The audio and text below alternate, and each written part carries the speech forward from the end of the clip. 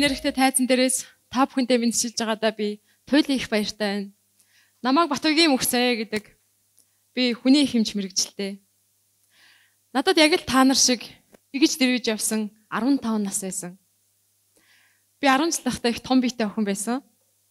Тийм болохоор хүүгүүдтэй их зодлох дуртай. Хүмүүс миний царайг хараад их даруух охин гэж бэлгтүүлдэг байхгүй юу? Яг үнэндээ бол тийм биш. Тэр үед хүүхд толгонд хүсэл мөрөөдөлтэй байдаг байсан. Хүүхд толгонд ирээдүгөө ярьдаг байсан. Би багш болно, би эмч болно, би эдийн засагч болно. Би бүх болно. Тэгээ улсын наадам дараалан төрүүлээд улсын их хурлын гишүүн болно ч гэж ярьдаг байсан. Би ч гэсэн эмч болно гэсэн мөрөөдөлтэй байсан болохоор шөнө болгон 2 цагт босч хичээлээ хийж дээрэс нь 6 дугаар ингээ төгсөөд 7 8 дугаар ингээ алгасан сурсан учраас 2 хичээл 2 жилийн хичээлийн жилийг гүйцэх анагаахын конкурсанд бэлдэнэгээд их олон цагийг хичээл хийж өнгөрөөдөг байсан. Ингэж явсаар би төгсөх ангида нэгэн химийн олимпиадад бэлдэж агаад тухайн үед бид нарыг дасгалжуулж бэлдэж исэн. Надаас 3 ах хүүгүнтэй үерхсэн. Энэ бол миний анхны үерхэл байсан. Гэхдээ өмнө нь ганц нэг хүүгүүд ирээд хоёлаа үерхүү гэж хэлэхэд нь заа гэж хэлээд 10 хоногийн дараа хоёлаа салъя гэж хэлж үзсэн. Ингээд энэ миний анхны үерхэл байсан. Би хөтлүүлж, үнсүүлж, хайрлаж, хайрлаж үзсэн. Ингээд он цагийг өнгөрөөсөөр 19 наснда би жирэмсэлсэн. 19 наснда би анхныхаа хүүхдийг гаргасан төрхөөс гараад ингэртэй хүүхд тэрээд толгоогоо боогоод 19 настай охин аавынд орсон. Энэ үед би төрсний дараа сэтгэл готролд гүнзгий орсон. Яагаад гэвэл би амьдрал бэлэн байгаагүй. Та нар амьдрал бэлэн үү? Би амьдрал бэлэн байгаагүй. Боловсролын хувьд ч эдийн засгийн хувьд ч сэтгэл санааны хувьд ч тэр намайг ганцхан бодол маш их зовоодаг байсан. Энэ бол би ийм амьдралд хүрэх гэж олон шин боссон юм уу? Олон шин босох надад хэцүү байсан. Гэхдээ би хичээсэн. Би ирээдүгээ гэрэлтэйгээр төсөөлдөг байсан. Би гадаадад сурч, аялж, амьдралыг би амтлана гэж боддог байсан. Гэтэл би цэл залуухан 20 насны босхийг амьдралын дав сужрыг ч амсаагүй хүүхэд тврээд өгцөн. Өнөөдөр би аав ээжрээ нэг ширхэг талхаарч ахуулж ийн гэсэн бол намайг зовоодог байсан. Гэхдээ яагаад ийм болов? Яагаад ийм болчих вэ гэсэн асуултын ганцхан хариулт надад олж исэн. Энэ бол би төлөвлөөгүй. Мэргэжил чухал гэдгийг мэддэг байсан. Үүндээч би 6 дугаар ангиасаа хойш бэлдсэн. Гэхдээ үүнтэй энэ тэнцүү хизээ би амьдралын өмнө хариуцлага хүлээх үү? Хизээ би ээж болох уу гэдэг талаар бодоогүй байсан учраас би байгалийн жамаараа ээж болсон. Эмэгтэй хүн биений мэрсэн цагаасаа жирэмсэн болох боломжтой. Гэхдээ хизээвэ гэдэг бол таны сонголт. Энэ бол таны гаргах шийдвэр. Энэ хувь тавилан биш. Гэхдээ би 19 настай анагаахын 4 дугаар курсын оюутан байсан. Би 15 настай оюутан болсон. Тийм учраас миний сурах чиглэл тодорхой байсан, миний сурах арга барил тодорхой байсан учраас би нэг сартаа хичээлдээ яваад үргэлжлүүлэн сурсан. Маш их бэрхшээл тохиолддог байсан ч гэсэн би сурч чадсан.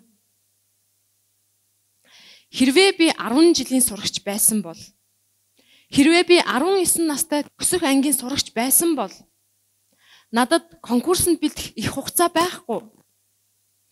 Хүссэн сургуулаа авлаач хүүхдээ тэрврээд оюутны байранд амьдрах надад бэрхшээлтэй. Өөрийнхөө үлсгэлэн ходоодыг төвчгийн дээр хүүхдийнхээ үлсгэлэн ходоодыг төвчүүлэх надад хэцүү. Анагаахын урт цагийн хичээл суух надад хэцүү. Ийм учраас би сургуулаа орхиод ажил хийх сонголт хийх байсан. Өнөөдөр Монгол улсад 2021 онд 2600 орчим өсвөр насны охид төрсөн. өсвөр насны төрөлтийн дараа олон олон бэрхшээлүүд тохиолддог. Гэхдээ энэ дундаас таны ирээдүйг хамгийн тодор гэрэлтүүлэх сурах үйл явц чинь хомсцоор байна. Би эмч мэрэгчлээ учраас өсвөр насндаа төрсэн охтын нэлээд олон тохиолдлуудад танилцчихлээ л да. Энэ дунд 17 наснда төрсэн нэгэн охин байсан. Тэр охин 17 наснда найз хүүгэнтэй болоод анхны бэлгийн хавтаараа жирэмсэн болсон. Жирэмснээс хамгаалах аргууд болох бэлгэвч, ерөндөг, суулгац, ухаанлын аргуудыг мэддэг байсан ч гэсэн анхны бэлгийн хавтлаар жирэмсэн болох уу гэсэн бодлосоо болоод 17 наснда ээж болсон. Би жирэмсэн болчлоо гэд найз хүүгэндээ хэлсэн боловч найз хүүгийнх нь ар гэр зөвшөөрөөгүй улмаас ганцаараа хүүхдээ өсгөх шийдвэр гаргасан.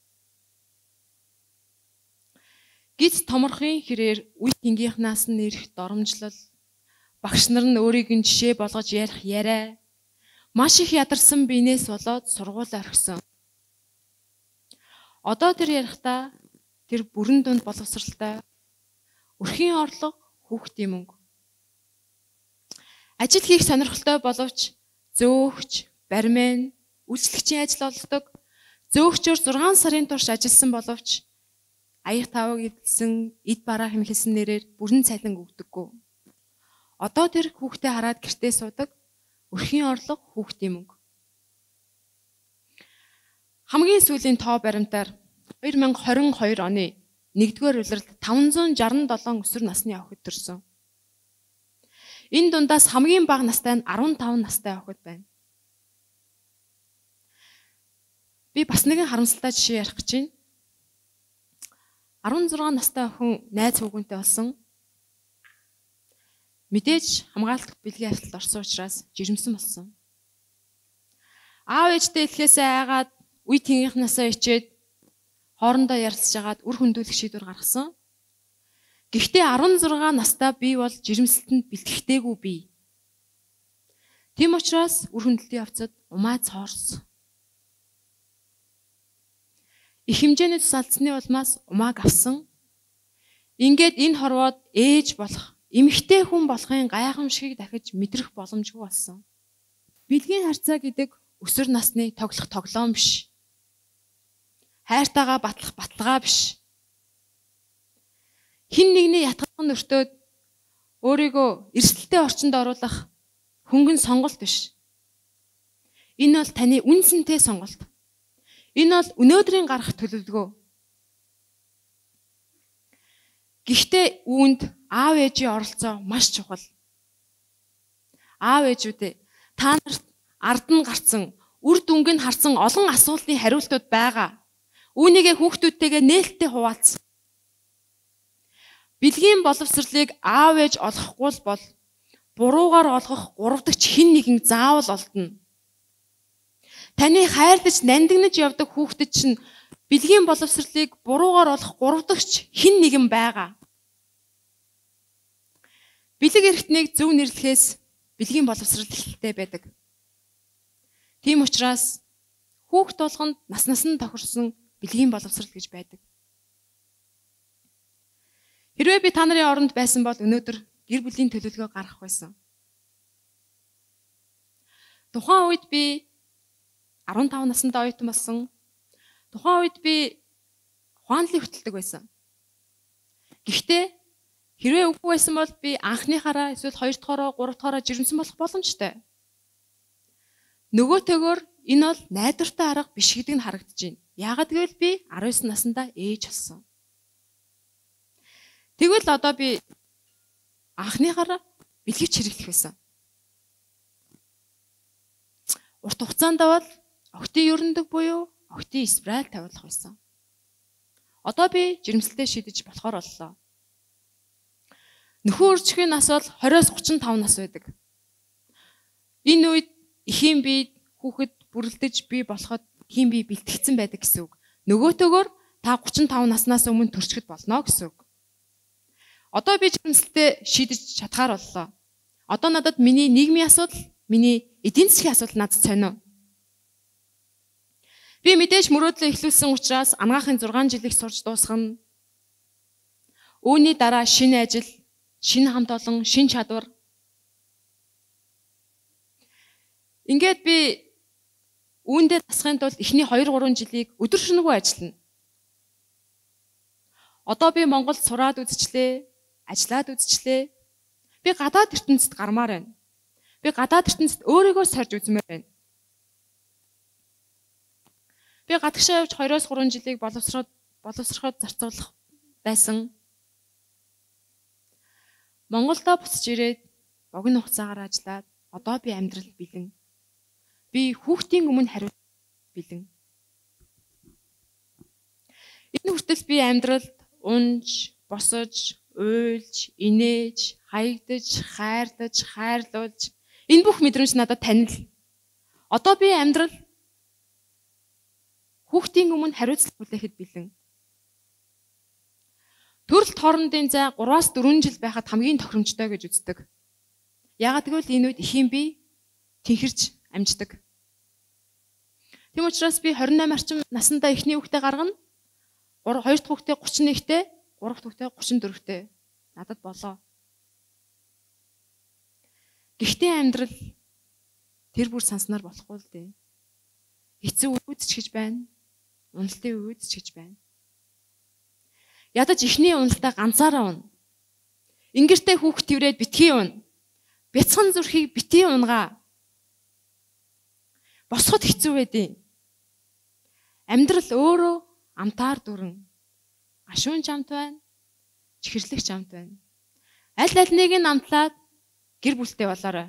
Баярлалаа.